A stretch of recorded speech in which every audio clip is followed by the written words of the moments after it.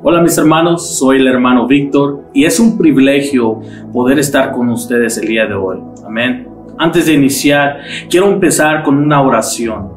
Padre, te damos gracias por otro día más de vida. Es un honor saber que no solo nos amas, sino también quieres una relación con cada uno de nosotros.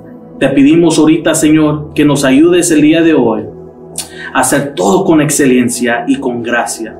Ayúdanos a escuchar tu palabra y ponerla en práctica. Te pido por cada persona ahorita que está escuchando, que bendiga su hogar, que bendiga su salud, que le des fuerza, que le des sabiduría, que le des pasión para buscar más de ti. Te pedimos todo esto en el nombre de Jesucristo. Amén y amén.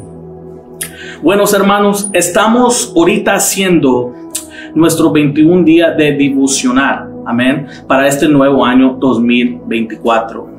Y me ha tocado compartir con ustedes unas escrituras en el libro de Mateo capítulo 4, del versículo 18 al 25.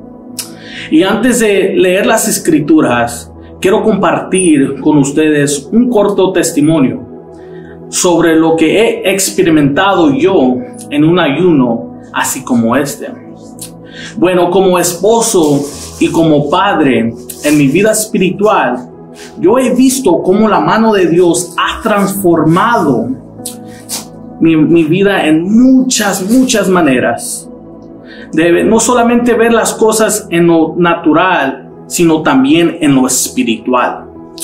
A lo que me refiero es que cuando uno se acerca a Dios, el Señor también se acerca. Y a continuación vamos a empezar a leer, amén. En el libro de Mateo capítulo 4, versículo 18 empezamos. Y esto habla de los primeros discípulos, amén. Y comenzamos. Y dice, cierto día, mientras Jesús caminaba por la orilla del mar de Galilea, vio a dos hermanos, a Simón, también llamado Pedro, y a Andrés, amén, que echaban la red al agua porque vivían de la pesca.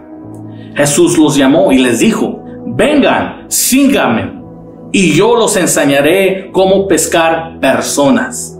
Y enseguida dejaron las redes y los siguieron al Señor Jesucristo. Un poco más adelante por la orilla, vio a otros dos hermanos, Santiago y Juan, sentados en una barca junto a su padre Zebedeo, ¿verdad? Reparando las redes. También los llamó para que lo siguieran.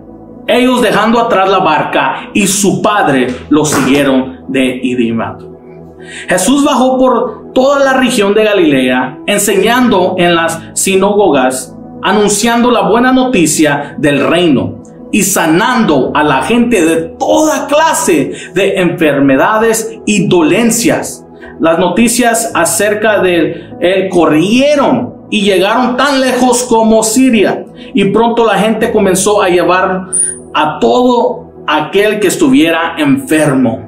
Y, él los sanaba a todos. Cualquiera fuera enfermedad o el dolor que tuvieran, el Señor los sanaba.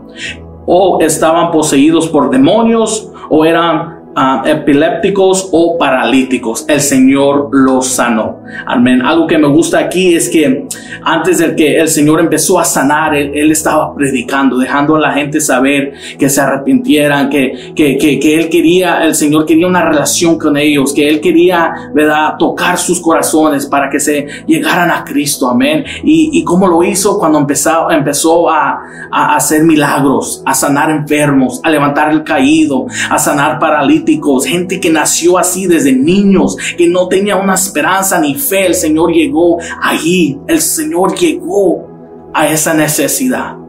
Amén. Y es lo que hacemos aquí también, at the way.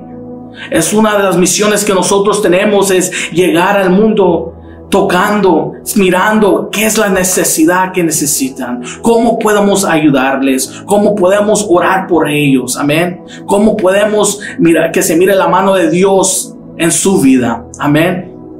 Y pues con eso los dejo, hermano. Que antes de esto quiero cerrar en oración. Ok. Quiero que ahorita donde te encuentres, que cierres tus ojos. Amén. Señor, te damos gracias, Padre. Gracias, Señor, porque hablaste a nuestras vidas ahorita, Señor. Pudiste hablar, Señor, a nuestros corazones, Señor. Pudiste hablar a nuestras necesidades, Padre. Y te pido ahorita, Señor, que empieces una nueva obra en mí, en los que están mirando y en todos los que te te aman, Señor. Te pido ahorita que los fortaleces, Padre. Que les des fuerza, Señor. Que les ayudes, Señor, en su trabajo. Que les ayudes, Señor, en su vida espiritual. Que los ayudes como padres y como madres y como hijos, Padre. Te pedimos todo en tu santo nombre. Te damos la honra y toda la gloria. Amén y amén. Dios me los bendiga.